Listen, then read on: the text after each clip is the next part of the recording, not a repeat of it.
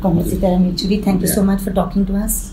Long time Rajya member, of course, General Secretary of the maybe the most critical time for the left in this country Mm. before the election, during the election, and after the election. So, how do you see the whole politics of this country, particularly with the left? Well, we are at a very dangerous uh, threshold as far as the politics is concerned because what we have seen in the last five years has been a thorough and a systematic undermining of the constitutional order. I mean, the basis, foundations of the Indian Republic. Those are all, every single pillar has been um, uh, at, at, attacked and sought to be, you know, destroyed in a, in a very, uh, very dangerous manner. And this is something which we'll have to stop. I mean, whoever comes to the government, I mean, that is very, very important because it depends on that, you know, whether we'll be able to safeguard this or not. And the need to safeguard is there for everybody to see. Yeah. So it is a Supreme Court. Supreme Court, Election Commission, The parliament itself, Parliament. itself. begin from the parliament. I mean, because the executive of the government is accountable only to the parliament. And the parliament doesn't function, it escapes accountability. Which it has. Which it has. I mean, you know, that is what applies the Parliament, the Supreme Court, the judiciary, then your investigating agencies, your CBI, etc. Then your regulatory authorities like the RBI, etc. Or uh, you like your Vigilance Commission, CAG. I mean, all these bodies, which are the constitutional bodies, each one of them is being undermined. Uh, Comrade Yechury, the how can you just in four or five points encapsulate the last five years how Parliament has been undermined? You see, first of all, the number of uh, sessions of the parliament have reduced drastically. Now, we of the left have been demanding that by a constitutional amendment, you should make it mandatory that at least a hundred days in a calendar year the parliament should meet. Otherwise, I mean, as I said, you see, the, the, the nature of our constitutional order, we must- we must understand the essence. The constitution begins with the words, we the people. Hum log. Mm. People are the, are the supreme sovereigns of our country. Now, how will people exercise that sovereignty? They exercise that sovereignty by electing their representatives, to whom the government is accountable. And these representatives are accountable to the people. So we the people breaks down if, if this parliamentary legislative authority gets undermined. Yeah. And and that is that is how it's happened. Secondly, the parliament is a bicameral parliament. Yeah. You have the upper house, and the upper house, which uh, which I sometimes in a light humoured manner, I said we copied uh, a lot from Westminster, so we also copied the color code. So the Lok Sabha is the color green, and the Rajya Sabha is the color red. Yeah. So I've often said it in the parliament that whatever, whenever the Lok Sabha in its indiscretion uh, makes a law, the red flag is shown by the Rajya Sabha in- Yeah, yeah. to protect the constitution. Correct, correct, correct. Now you have robbed the Rajya Sabha of its role by saying that money bills do not need Rajya Sabha's approval. Now, who defines the money bill? That's also vagueness in the Indian constitution. In case of a dispute, the final word is that of the Speaker of the Lok Sabha. Yeah. Now, given the sort of uh, Speaker of the Lok Sabha you had, and given the sort of a majority they had, for anything which has nothing to do with uh, you know uh, being a money bill, It you passed de- as a money uh, bill, You yeah. pass it as a money bill, declare it as a money bill, and bypass the Rajya Sabha. No, This happened with the Aadhaar bill. This happened with the you know, Aadhaar, it happened with electoral bonds, it happened with uh, all the uh, entire changes in terms of political funding, yeah, where they legalized political corruption. yeah. I mean, all these have been smuggled in through uh, through money bills. money bills. Yeah. Now, this is the way in which the authority of the parliament is being had been uh, completely undermined. We have to restore it, and it's a big battle. I mean, even if the government changes, even then it'll take some time before the things are properly put back into proper order. The left is committed to that. Of course, of course, left is committed, and we'll continue to push for the at least hundred day minimum. The sitting in a calendar year. The left has been consistently also issuing press releases given the lack of faith in the election commission in terms of whether it's the VPAT issue, whether it is a money in election issue. So this entire dis- discrediting of the election commission, this entire electoral process is so unfortunate because of a lack of transparency, even in recording the dissenting note of the third member, etc. That's why, I mean, in fact, I've gone on record with the Election Commission also. The undermining of the Election Commission is very, very ominous for Indian democracy. because the Election Commission is the only statutory authority given the uh, mandate by the Constitution to conduct a free and fair election, which is the backbone of democracy.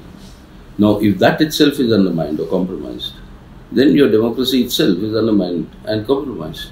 And that is why the Election Commission's, uh, I mean, many of its decisions now, during the course of these elections, have put many, many question marks over its neutrality and impartiality. Now, that is a very, very serious development which will have to be corrected. And the only way is to accept what we have been suggesting for many years that is, the Election Commission currently is being appointed only by the government of the day. That has to change. There has to be a collegium Yeah. which will include the presiding officers, the leader of the opposition, Yeah. and a constitutional authority, maybe a judicial officer, Yeah, yeah. but constitute a presidium, like uh, a collegium, like we have constituted for the appointment of Lokpal, for that of the CBI direct- director. That has to be done, and they, that should appoint the election commission. Otherwise, we get into these sort of serious problems. the left in Bengal and the left in Tripura is battling back to kind of for political space to reframe the agenda, etc. And there's been a kind of an attack by the media on the left, particularly in Bengal, vis-a-vis the communalization of Bengal, etc. Would you just like to put that record straight? You see, first of all, the point is that the left and the left's influence on the people and the people's commitment to the left's vision. That can only be tested if those people's vote is polled.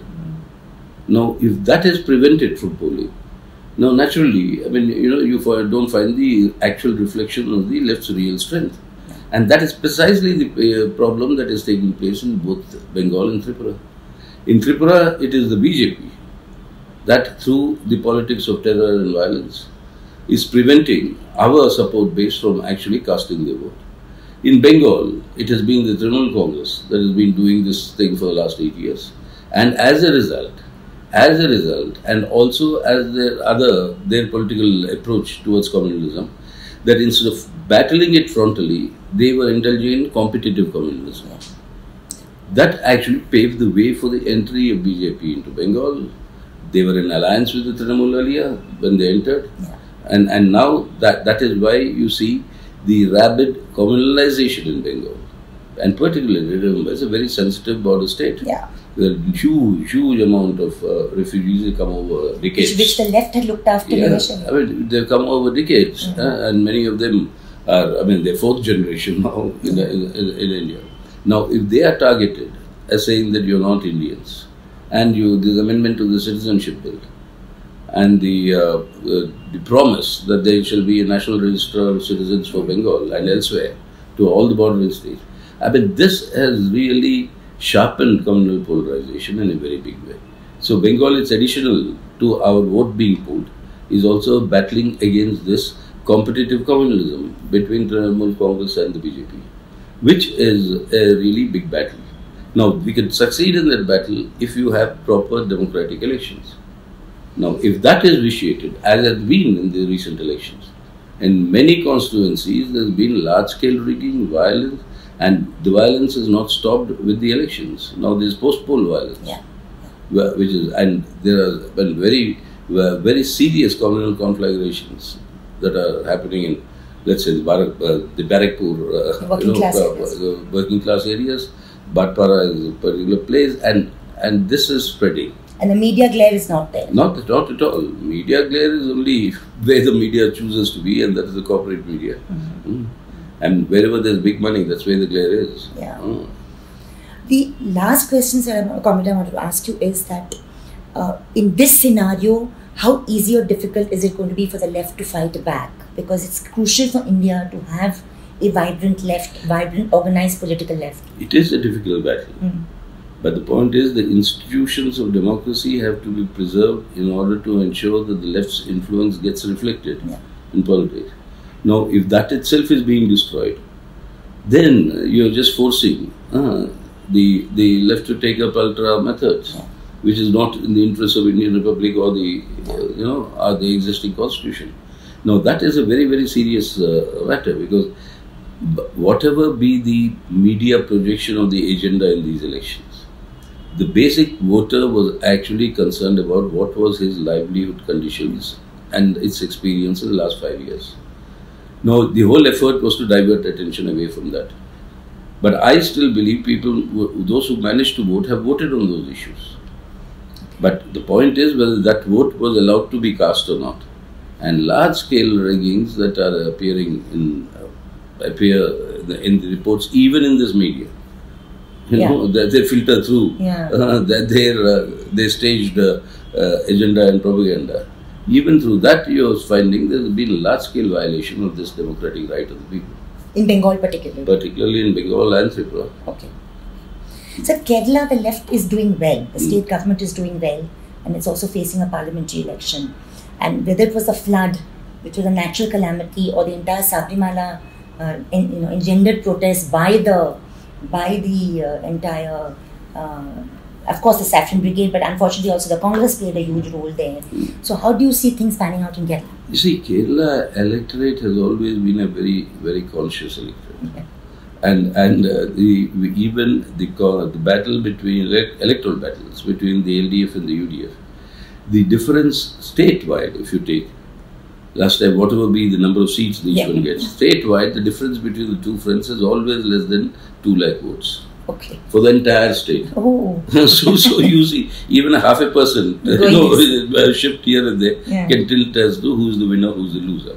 So that that remains in Kerala. I mean, that is Kerala's reality.